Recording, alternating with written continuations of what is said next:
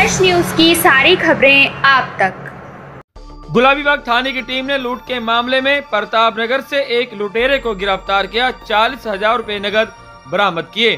DCP Sagar Singh कलसी ने सोमवार की रात सवा दस बजे मीडिया को बताया कि गुलाबी बाग थाने को 14 जनवरी की सुबह शिकायतकर्ता मोहित, निवासी अशोक पार्क, पंजाबी बाग का, जिसकी उम्र 25 साल है, जो कलेक्शन एजेंट है। पुलिस को शिकायत दी के वह एक कलेक्शन एजेंट है। और 13 जनवरी की रात को वह अपनी स्कूटी पर अपने कार्यालय जा रहा था। तभी आठ बज के मिनट पर वह पिल्लर नंबर संख्या 115 प्रताप नगर के पास पहुँचा। इस बीच तीन अज्ञात व्यक्ति पास आए और उन्होंने ज़बरदस्ती मोबाइल फ़ोन और एक जैकेट लूट ली। जैकेट के अंदर तीन लाख रुपए नगद रखे थे।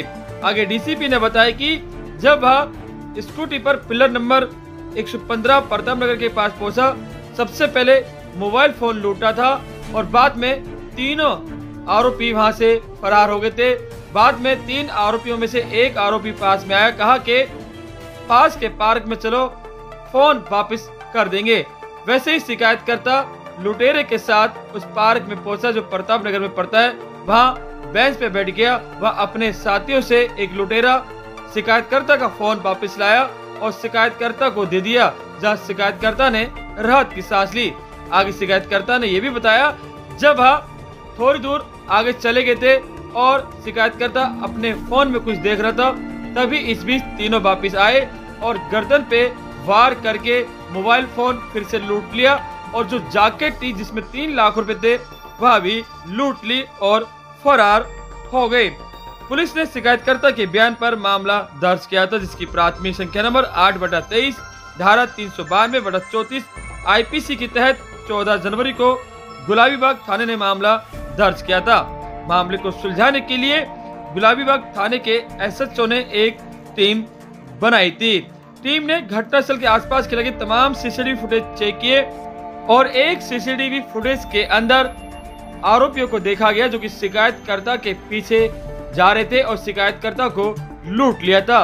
वह सीसीटीवी फुटेज शिकायतकर्ता को दिखाई तो शिकायतकर्ता ने आरोपियों को पहचान लिया और जिसके बाद पुलिस ने आरोपियों को गिरफ़्तार करने के लिए अपने गुप्त स्रोतों को भी तैनात किया और आखिरकार 15 जनवरी को एक गुप्त सूचना प्राप्त हुई कि एक आरोपी जो लूट में शामिल है, जिसका नाम विशाल है, जिसकी उम्र 21 साल है, वह प्रताप नगर में रहता है।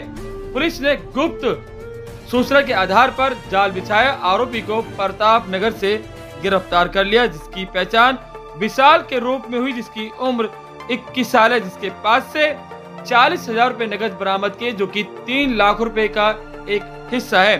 आरोपी से पूछताछ की तो आरोपी ने अपना अपराध कबूल किया।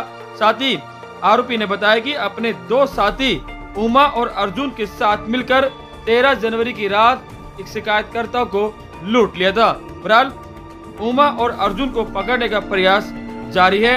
आरोपी से की जा रही है पूछताछ।